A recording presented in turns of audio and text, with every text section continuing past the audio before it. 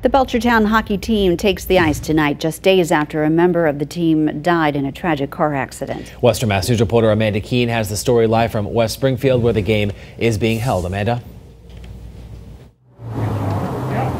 Well, Brendan Conroy died in a car accident earlier this week, and tonight is the first time that the Belchertown hockey team, a team that he was a part of, has taken the ice and they're playing against Easthampton here in West Springfield. Now, the team came out on the ice carrying Brendan's jersey, and the crowd went nuts. That jersey stays on the bench with them for the game, looking over the team as they play. The game is bittersweet for the team as they're excited to be in the playoffs, but it's hard for a few days since learning their friend has passed away. The Northwestern District Attorney's Office says Brendan lost control of his car after driving erratically on Route 202 in Granby.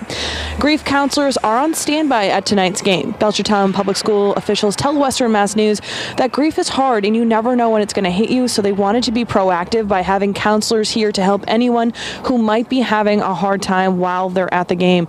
The stands were packed with supporters wearing black and orange. One side even said, Pack the limp for Brendan, meaning Pack Olympia, the name of the rink here. The announcer also held a moment of silence right before the national anthem so that both teams and the crowd could remember Brendan and give him some respect.